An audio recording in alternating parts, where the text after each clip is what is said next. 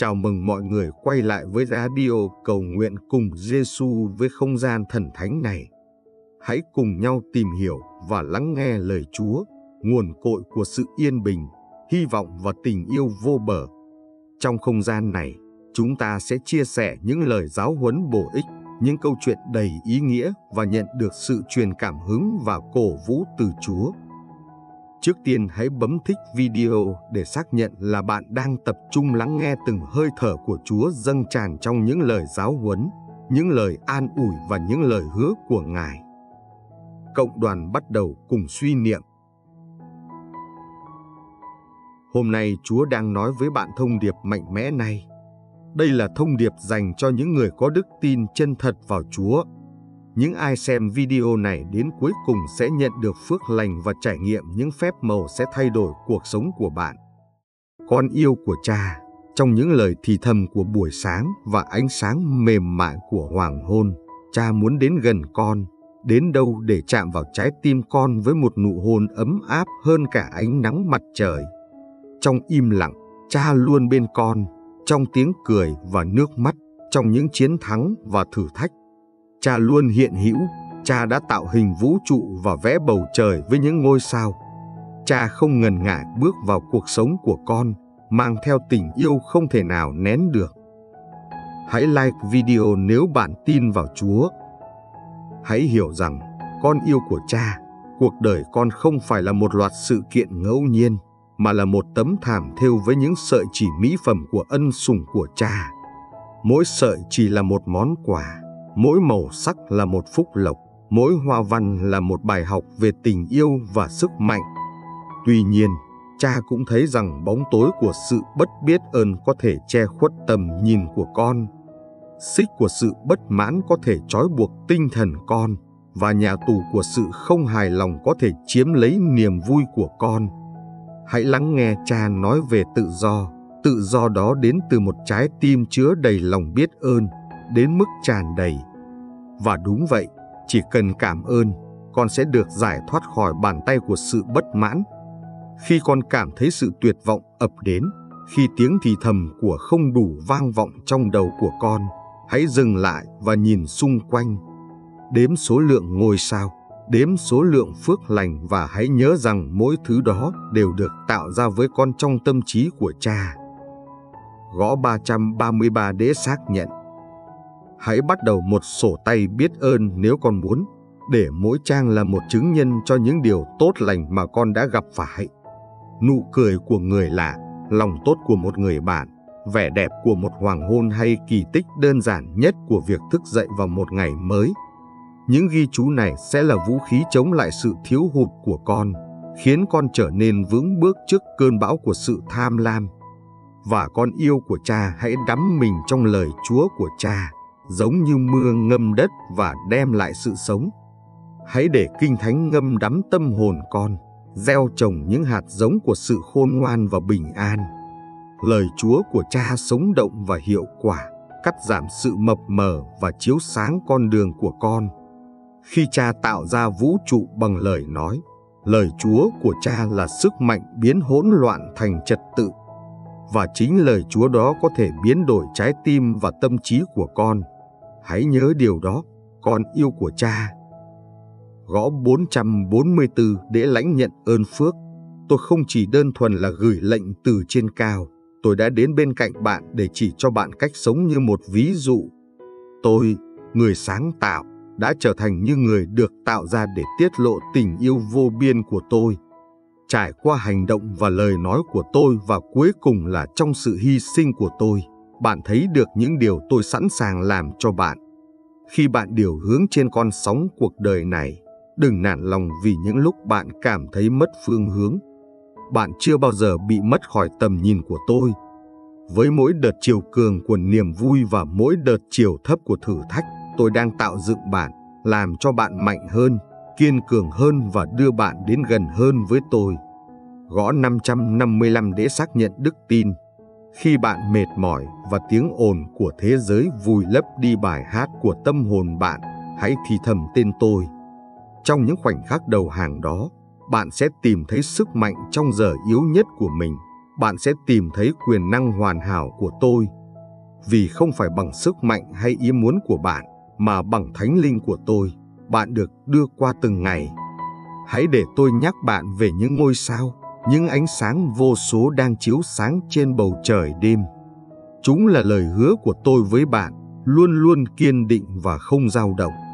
Giống như bình minh xua tan bóng tối, tình yêu của tôi là một bình minh không ngừng trên cuộc đời bạn, xua tan bóng tối và mang đến hy vọng với mỗi tia sáng trên chân trời. Hãy bước ra khỏi bóng tối, hãy nhìn lên ánh sáng của tôi và để lòng biết ơn là bài hát múa trên môi bạn. Hãy đi trên con đường tự do của một trái tim biết ơn và hãy biết rằng mỗi bước đi của bạn. Gõ 666 để lãnh nhận ơn phù trợ. Tôi đang ở đây, cùng với bạn, tay tôi dắt bạn, tình yêu tôi truyền qua giọng nói thì thầm, hòa bình. Bây giờ, hãy lắng nghe những lời tôi nói và để chúng làm lành cho tâm hồn mệt mỏi của bạn, để chúng trở thành gia vị cho cuộc sống của bạn và để ánh sáng của tôi chiếu sáng trên bạn. Hãy sống với niềm vui vô tận của một trái tim đoàn kết với tôi. Đứa con yêu của tôi ơi, hãy đến gần và lắng nghe giọng tôi như tiếng thì thầm của gió nhẹ, nhưng vững chãi như đất dưới chân bạn. Hãy để tôi ôm bạn trong những lời hứa vĩnh cửu, vì tôi có rất nhiều điều muốn chia sẻ với bạn. Gõ 777 để lãnh nhận ơn bình an cho gia đình. Hãy hiểu rằng cuộc đời của bạn không phải là một chuỗi những sự kiện tình cờ, mà là một tấm thảm được dệt với mục đích thiêng liêng. Mỗi sợi chỉ là một khoảnh khắc, một quyết định, một nhịp đập của cuộc sống của bạn. Tôi biết mỗi sợi đó vì tôi là người dệt. Niềm vui, nỗi đau, thắng lợi và gian khổ của bạn đều đã được tôi biết. Hãy vui mừng, không chỉ vì tên bạn được khắc trong sách cửu trùng thiên, mà còn vì tôi đã tạo ra những ngày của bạn với tình yêu và ý định thiêng liêng. Trong vương quốc của tôi, thời gian không quan trọng vì nó luôn bị trà đạp bởi vĩnh cửu. Cuộc đời của bạn, một cơn gió thoáng qua ở đây, nhưng lại được gắn bó với sự vĩnh cửu mà tôi giữ. Bạn đã được chứng nhận, đúng như vậy, thông qua đức tin của mình trong tôi, là đấng cứu thế đã sống lại gõ 888 đế lãnh nhận ơn tài chính. Nhưng bạn cũng được tôn vinh, vinh quang không chỉ là một lời hứa trong tương lai, mà còn là một hiện thực hiện tại. Nhấn nhá trên tâm hồn bạn với ánh sáng mà bóng tối của thế giới này không thể làm mở đi. Niềm vui, đó là giai điệu chơi trong hậu trường của tâm hồn bạn, một giai điệu không ngừng, có thể phát lên như một bản giao hưởng ngay cả giữa những cơn bão dữ của cuộc sống. Niềm vui đó không phải là do bạn tạo ra, mà là món quà của tôi dành cho bạn, một biểu hiện của tình yêu mãi mãi của tôi.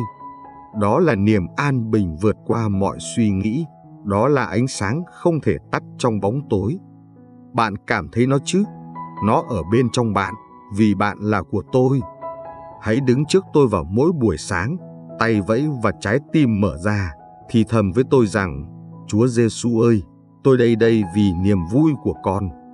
Và tôi sẽ đổ vào bạn niềm vui đó, không thể nào tả được, từ giếng không cạn của ân sủng của tôi. Hãy để tôi hiện diện trong bạn, để nó thấm vào từng xương của bạn, để giúp bạn trở nên mạnh mẽ trước những gánh nặng và lo toan hàng ngày.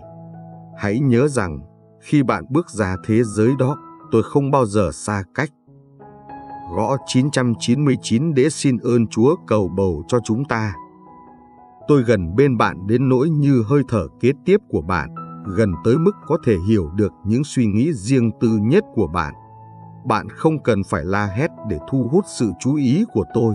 Một tiếng gì dầm, một tiếng thở dài cũng đủ để thu hút ánh mắt và sự chú ý của tôi. Liên hệ với tôi bất cứ khi nào bạn cần một cái chạm, một lời nói hay một nụ cười. Tại đây không có sự khan hiếm, tài nguyên của tôi về niềm vui là vô tận luôn sẵn sàng đáp ứng nhu cầu của bạn. Hãy nhớ rằng, dù bạn đang đi trên mặt đất, tâm hồn bạn đã chạm vào bờ lành của thiên đàng. Bạn là một công dân của vương quốc vĩnh cửu, nơi tình yêu trị vì và công bằng chảy như một dòng sông mạnh mẽ, nơi đồng tiền được gọi là ân điển. Gõ tạ ơn Chúa, để xác nhận những gì Chúa đã làm cho chúng ta, được ngồi cùng tôi là gì? Đó là một vị trí của danh dự, điều đó chứng tỏ danh tính của bạn là người của tôi. Là một lời hứa rằng cuộc sống của bạn không chỉ có những gì bạn nhìn thấy, không chỉ là những cuộc đấu tranh mà bạn phải trải qua. Đó là một sự tiên đoán cho những vinh quang sắp đến, nơi mà mọi giọt nước mắt sẽ được lau đi, những nỗi đau sẽ được chữa lành và mỗi nỗi buồn sẽ trở thành những bước nhảy. Do đó, hãy đi đến một cách dũng cảm, sống một cách can đảm, yêu một cách mãnh liệt, thể hiện sự đồng cảm một cách tự do như bạn hít thở. Tha thứ với sự rộng lượng như những con sóng tràn về đất liền, chia sẻ hy vọng là một chốn dừng chân cho tâm hồn của bạn. Hãy trở thành đèn hiệu của ánh sáng đã chiếu rọi con đường của bạn. Bạn là đại sứ của tôi trên thế giới này, nơi mà người ta cần xem mặt tôi. Bạn có thấy mình quý giá tới đâu đối với tôi không? Gõ tôi yêu Chúa, để xác nhận tình yêu của bạn đối với Chúa. Làm sao tôi có thể không yêu con khi tôi đã tạo nên con bằng đôi tay của mình, thổi hơi vào con bằng hơi thở của mình. Con là bức tranh phản chiếu hình ảnh của tôi, là lồng đựng tinh thần của tôi, là con của trái tim tôi. Hãy đến với tôi, dù trong những lúc vui mừng háo hức hay trong những khoảnh khắc tuyệt vọng yên lặng. Tôi luôn ở đây, luôn ở đây. Tình yêu của tôi dành cho con là không đổi, không bao giờ kết thúc và không điều kiện. Hãy uống sâu từ giếng nguồn hiện diện của tôi và hãy để tâm hồn con tìm được sự nghỉ ngơi. Hãy nhớ những lời này, bám lấy chúng và để chúng trở thành la bàn để con điều hướng trong những rối rắm của cuộc sống. Con được chứng nhận, được vinh danh và là của tôi. Và trong sự thật đó, con sẽ tìm thấy niềm vui của mình. Niềm vui không thể bị bất kỳ hoàn cảnh nào đánh cắp. Niềm vui là của con mãi mãi. Gõ Chúa ơi hãy giúp chúng con. Đế xin Chúa giúp đỡ. Hãy đến gần tôi và để lời của tôi bao quanh con như một cơn gió nhẹ trên một ngày hè ấm áp. Tôi là cha của con, người sáng lập của con, Alpha và Omega, nói trực tiếp vào đáy tâm hồn con. Khi con cùng tôi đi, hãy cảm nhận được sự chạm vào ánh sáng của tôi, một tia sáng chỉ dẫn bước chân con và chiếu sáng con đường phía trước. Ánh sáng của tôi không chỉ đơn thuần chỉ dẫn đường mà còn truyền đạt cho con một sự ấm áp có thể tan chảy đi những cảm giác lạnh lẽo của tội lỗi và nỗi sợ hãi. Hiểu điều này, con của tôi, trong khi cuộc hành trình của con được trang trí bằng vẻ đẹp của sự tạo dựng của tôi, nó cũng giải đầy những bẫy và cạm bẫy. Con sẽ gặp những khoảnh khắc yếu đuối và bóng tối. Khi đó, hãy nhớ rằng máu của tôi có sức mạnh để làm sạch, làm mới và làm trọn vẹn lại. Mỗi lần con nhận ra những lỗi lầm của mình, hãy thú nhận chúng với tôi mở rộng trái tim và để sự chân thành của lời nói của con là chìa khóa mở cánh cửa của sự tha thứ và ân điển của tôi. Gõ 1010 để xin ơn thánh hóa gia đình. Nhưng hãy biết rằng, con không bao giờ sẽ đi trên con đường của sự kết án, vì vị trí bên cạnh tôi của con đã được bảo đảm từ lúc con tin vào tôi. Vị trí của con bên cạnh tôi, người thân yêu của tôi, không phải chỉ là một nơi đứng mong manh mà con phải đung đưa trên đó tùy thuộc vào tốc độ hoặc kỹ năng thú nhận tội lỗi. Đó là một không gian rộng mở, một nơi tự do dựa trên nền tảng của sự công bằng và chính nghĩa của tôi, được tặng cho con như một món quà vĩnh cửu. Sự công bằng này không được kiếm được thông qua những lời thú nhận tội lỗi của con, cũng không phải bởi sự hùng biện của những lời cầu nguyện của con, nhưng được tặng cho con một cách tự do, được sinh ra từ tình yêu bất diệt của tôi. Khi con là của tôi, được mặc những bộ áo lộng lẫy được dệt từ sự công bằng của tôi, hãy bước tới với sự hiện diện của tôi một cách táo bạo. Khi con làm như vậy, con sẽ thấy rằng cái tốt trong cuộc sống của con sáng lên với một sự lấp lánh chỉ có thể đến từ tôi. Và những gánh nặng con mang trên vai trở nên nhẹ nhàng dễ chịu hơn bởi vì con không phải đối mặt với chúng một mình. Trong liên đới thiêng liêng này, mỗi niềm vui đều được nhân lên và mỗi nỗi đau đều được chia đôi cho con. Gõ 1111 để xin công việc suôn sẻ. Hãy chia sẻ tất cả với tôi. Trong ánh sáng tình yêu của tôi, hãy để trái tim của bạn học cách yêu thương người khác sâu sắc hơn.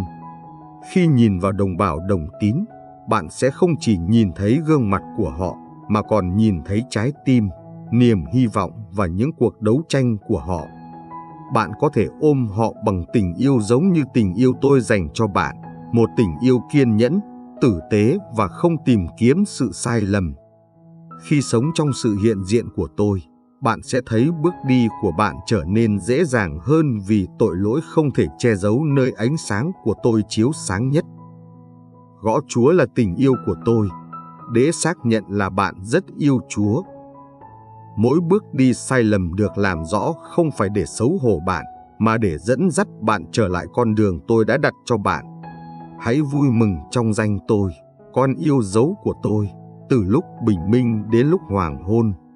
Hãy tận hưởng sự đồng hành không ngừng của tinh thần tôi và hãy vui mừng vì sự đảm bảo của sự công bình của tôi bao phủ lấy bạn. Không cần sợ bóng tối hay sự im lặng của đêm, bởi vì bạn không bao giờ cô đơn. Tình yêu của tôi là ngọn lửa vĩnh cửu đốt cháy đêm tối và bài hát của tôi trên bạn là bài hát du dịu nhẹ nỗi sợ hãi của bạn. Đừng gánh nặng vì bạn phải duy trì một hồ sơ hoàn hảo về tội lỗi của mình bằng cách thú nhận từng lỗi một với sự khẩn trương của một người nợ tiền thanh toán tài khoản. Hãy sống trong sự tự do của ân điển của tôi, biết rằng mỗi tội lỗi được thú nhận được đưa ra xa như đông từ Tây, không còn được nhớ đến nữa. Điều này chính là trái tim thông điệp của tôi, tin lành của sự hòa bình.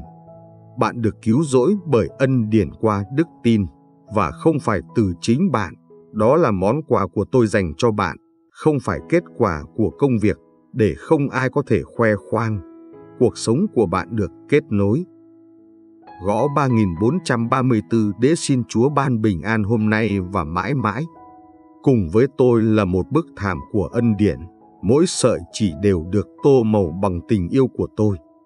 Khi bạn bước ra thế giới, hãy biết rằng cuộc đời bạn là một nguồn sáng cho những người khác, một phản chiếu của vinh quang và sự tốt lành của tôi. Khi người khác nhìn thấy bạn, hãy để họ không chỉ nhìn thấy những việc bạn làm mà còn là tình yêu mà bạn thể hiện trong từng hành động, tình yêu từ trái tim tôi đến trái tim bạn. Hãy đi bước trong sự bình an, sự vui vẻ, sự yêu thương và trên tất cả hãy đi trong ánh sáng vì trong ánh sáng của tôi bạn sẽ thấy ánh sáng và trong sự hiện diện của tôi, bạn sẽ tìm thấy niềm vui trọn vẹn. Hãy đến với tình yêu ấm áp và sáng tỏ của tôi ngay hôm nay và để chúng ta cùng đi bước trong cuộc sống, con yêu dấu của tôi. Vì trong từng bước chân, có ân điển, trong từng hơi thở, có sự sống và trong từng khoảnh khắc ở bên tôi, có sự ôm ấp vĩnh cửu. Thầm thì rằng con là của cha và cha là của con con yêu dấu của tôi, dù bạn đang ngồi trong những góc tối mịt mù của sự mệt mỏi. Trong bóng tối của những nghi ngờ, tôi vẫn luôn ở đó, ánh sáng từ trên cao xuyên qua bức thảm u tối do những nghi ngờ của bạn tạo ra. Ánh sáng của tôi là không đổi, một đèn dẫn đường để dẫn bạn ra khỏi những bóng tối đó, đưa bạn vào trong vòng tay của tôi. Khi trái tim bạn quá nặng vì gánh nặng của những lo toan, Hãy để tôi đến và giúp bạn gỡ bỏ gánh nặng đó. Ánh sáng của tôi không chỉ là để chiếu sáng con đường của bạn mà còn để giảm bớt gánh nặng của bạn. Hãy dành chút thời gian để chúng ta nói chuyện. Chỉ có bạn và tôi, không có sự ồn ào của thế giới để làm phiền. Tôi là nơi trú ẩn của bạn, nơi an toàn trong cuộc bão tố Thế giới bên ngoài là một đại dương bão tố và những con sóng có thể gây giấy loạn và rít lên nhưng chúng không thể đến được đây với bạn và tôi. Những giải pháp mà bạn đang tìm kiếm, những câu trả lời mà bạn đang cố gắng tìm kiếm, hãy để tôi giữ lại chúng trong tay. Bạn đã không thử ghép lại những mảnh vỡ trên đường đi của mình và đây vẫn là lúc bạn đang tìm kiếm và mong muốn tìm thấy một phần mà có vẻ như nằm ngoài tầm với của bạn. Nhưng nếu tôi nói với bạn rằng sự bình yên không phải là một bờ biển xa xôi mà là một nơi trú ẩn bên trong bạn đang chờ đợi để được khám phá. Nếu tôi nói rằng trong sự yên lặng của sự hiện diện của tôi, những câu trả lời mà bạn đang tìm kiếm sẽ được hiện ra như bình minh tan biến bóng tối. Bạn chỉ cần nghỉ ngơi tại đây để buông những điều mà bạn nắm chặt và nhớ lại ai tôi là.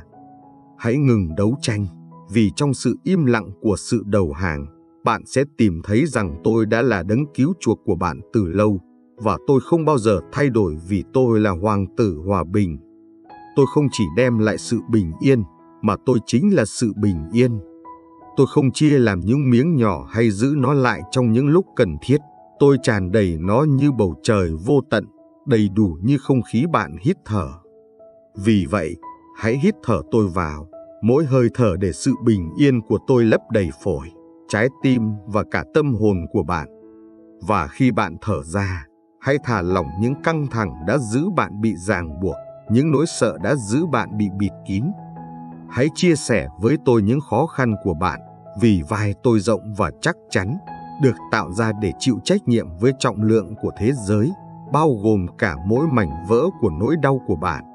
Hãy tin tưởng rằng tôi có thể xử lý chúng, vì có gì quá khó với tôi, không có đêm tối quá tăm tối, không cơn bão quá dữ dội, không ngọn núi quá cao đến nỗi tôi không bao giờ có thể đưa bạn đi trên con đường của sự bình yên. Tôi không phải là một vị thần xa xôi, quan sát từ những đỉnh cao, không chạm vào những khó khăn của bạn. Tôi ở đây giữa cuộc đời rối ren của bạn, gần như chính không khí bạn hít thở. Bạn không cần phải la hét hay vùng tay với tay run rẩy. Tôi gần như lời cầu nguyện thì thầm của bạn, gần như nhịp đập của trái tim bạn. Hãy nhớ những câu chuyện xưa, những câu chuyện bạn đã nghe từ văn bản cổ. Những khoảnh khắc khi tôi làm lặng biển cả, khi tôi dẫn dắt những kẻ lạc lối qua sa mạc, khi tôi biến nỗi đau thành múa vui. Tôi là Chúa Trời không đổi thay. Những điều kỳ diệu của ngày xưa là những lời hứa của ngày hôm nay, là dấu hiệu của tình yêu và quyền năng bất diệt của tôi. Hãy đến với tôi, hãy gạt bỏ tâm trạng tuyệt vọng, bạn đã cuốn quýt quanh đôi vai. Hãy đổi nó lấy một áo cho tôi ngợi khen, cho sự đẹp thay vì cho tàn. Khi bạn ngồi cùng tôi, hãy để lời nói của tôi rửa sạch bạn như một dòng suối trong lành. Hãy để nó làm mới bạn, phục hồi bạn. Hãy nhớ rằng trong tôi, bạn hơn cả một kẻ chinh phục. Trong tôi, bạn có đầy đủ niềm vui. Trong tôi, có hy vọng muôn thuở như mặt trời mọc vào mỗi buổi sáng. Luôn quyết tâm để đánh tan bóng tối. Đừng quên đứa con của tôi. Khi bạn tắm mình trong sự hiện diện của tôi, bạn phản chiếu ánh sáng của tôi. Bạn trở thành ngọn đèn trong bóng tối xung quanh bạn, một chiếc thuyền chứa đựng sự bình an và tình yêu của tôi. Vì vậy, khi bạn cảm thấy như mình bị bao phủ bởi bóng tối, hãy nhớ rằng bạn cũng có thể tỏa sáng với tình yêu lấp lánh của tôi, mang hy vọng đến cho những người ngồi trong bóng tối xung quanh bạn. Hãy để những lời này không chỉ là sự an ủi thoáng qua mà là một bản giao ước lâu dài giữa chúng ta. Tôi ở bên bạn, tôi ủng hộ bạn và tôi sẽ không bao giờ rời bỏ bạn. Hãy ở lại với tôi và bạn sẽ đi trên con đường bình an muôn thuở. Đứa con yêu dấu của tôi vì bạn là của tôi và trong sự thật đó không có chỗ cho bóng tối, chỉ có ánh sáng không ngừng nghỉ của sự hiện diện của tôi. Amen. Cuối cùng nếu bạn muốn ủng hộ kênh của chúng tôi, vui lòng xem xét quyên góp bằng cách sử dụng tính năng Super Thanh.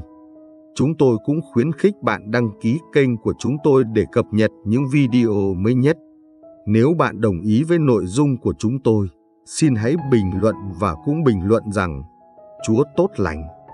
Cảm ơn đã xem theo dõi chúng tôi khi chúng tôi chia sẻ lời Chúa Giêsu của chúng tôi bằng cách đăng ký kênh cũng như và chia sẻ.